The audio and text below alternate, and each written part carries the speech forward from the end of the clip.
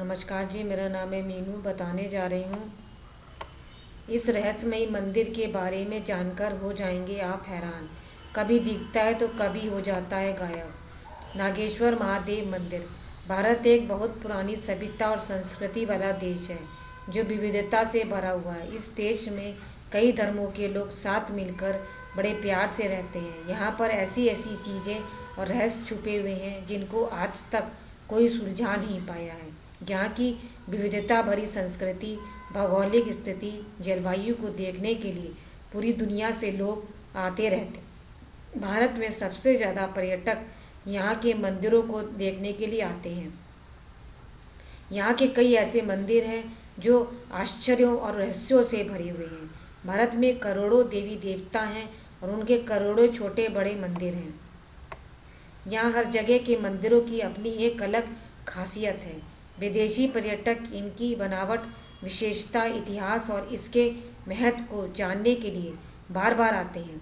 भारत की संस्कृति बहुत पुरानी है, इसीलिए यहाँ कई मंदिर हज़ारों सालों से भी पुराने हैं। कई मंदिरों का अपना रहस्य भी है, जिसे आज तक कोई सुलझा नहीं सका है। आज हम एक ऐसे ही मंदिर के बारे में बात करने जा रहे हैं, जो रहस्यों से भरा हुआ है।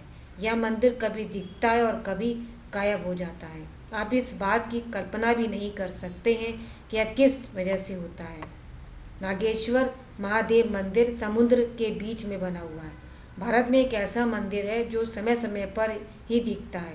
यह और मंदिरों की तरह पूरे समय नहीं दिखता है। दरअसल, यह मंदिर समुद्र के बीच में बना हुआ है। इस वजह से जब पानी कम होता है, तभी यह दिखता है और जब पानी बढ़ जाता है तो यह मंदिर पानी में डूब जाता है। यह मंदिर भगवान शिव का है। नागेश्वर महादेव मंदिर, जो अरब सागर के ठीक सामने और बड़ोदरा से 40 किलोमीटर दूर स्थित है। इस मंदिर की सबसे खास बात यह है कि यहाँ पर लोग तभी जाते हैं जब समुद्र में ज्वार कम होता है। इसी दौरान मंदिर का शिवलिंग दिखाई देता है। धन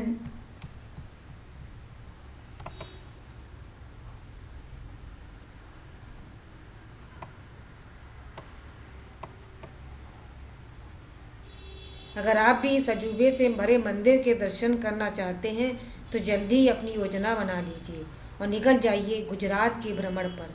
कभी ना कभी तो समुद्र में पानी कम होगा ही। इस दौरान आप इस मंदिर में भगवान शिव के दर्शन करके अपनी इच्छानुसार फल पा सकते हैं। धन्यवाद। मेरे चैनल को सब्सक्राइब ज़रूर करें।